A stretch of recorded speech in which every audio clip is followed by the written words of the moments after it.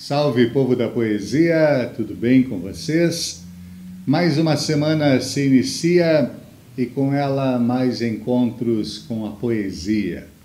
E esta semana será com os poemas de Raul K. Souza, encontrados neste livro Ligações que Rasgam, publicado pela Cotter Editorial. E o Raul é aqui de Curitiba, no Paraná, ele é formado em filosofia, abandonou um curso de direitos humanos para andar de bicicleta e depois abandonou também a bicicleta.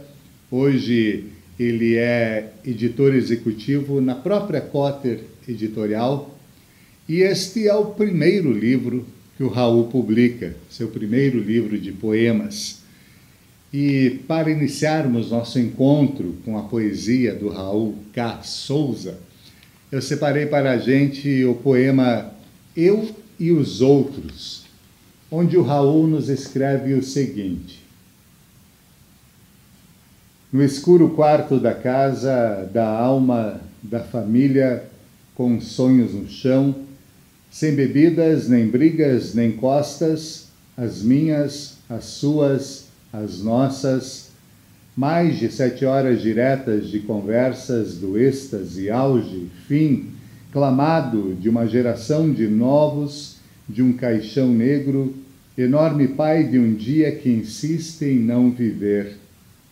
Ainda estarei de pé depois que esta noite passar. Ainda Celso estará de pé quando uma guerra dentro desabar. Andrei ainda estará aqui depois de uma chuva de loucura no minuto de terror. Hudson vestirá um dia inteiro em sua alma e seu grito chegará até as esquinas e baterá nas portas do céu. Entrará pela janela como a fumaça de nossos cigarros dentro de uma sala espacial de loucura e de amor, acordados como eu agora esperando o auge de uma madrugada que só se faz no amanhã e por uma noite incrível de vida de apenas 20 anos, não rastejando, nem correndo, nem gritando, apenas fervendo no chão da sala do apartamento. Consegui saber que naquele dia de 20 anos foram quatro vidas de 20 anos, de uma noite bêbada, engraçada e tímida sobre nossos corpos invertidos.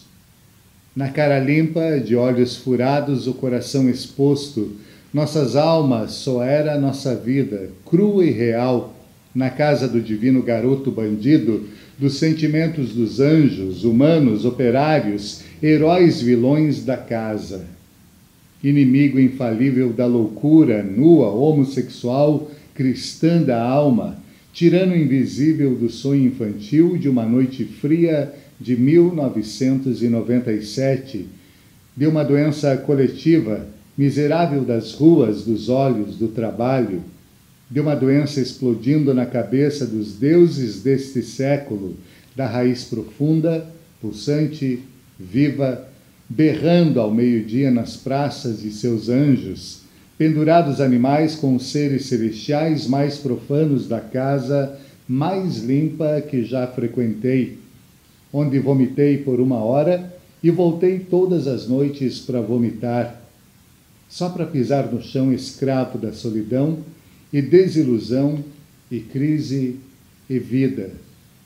Da morte em pé para o dia deitado, da imagem da cruz dos olhos e feições das crianças olhando o horizonte frias, imóveis, angelicais, sujas, tristes, órfãs, de joelhos, observando a violência casual cotidiana incurável dos seus sentimentos deficientes, de seus corpos mais vazios, de uma pureza armada e sozinha andando pelas ruas por mais um gole, esperando uma eternidade de dores engraçadas para acordar horas depois com meu amigo dizendo: que não terminamos algumas horas atrás e o dia não terminou, a noite não terminou, nós apenas dormimos. Acordamos sem nossos pesos anteriores para olhar nuvens, acompanhar o jogo frenético de velhos senhores engraçados sob a janela, derramando baldes de preocupações, de dores dos castelinhos de areia construídos nelas, com algo de velho, com algo de novo, com algo para continuar. Eu e os outros. Um poema de Raul K. Souza. Vale a pena ler. Fiquem bem e até o nosso próximo encontro.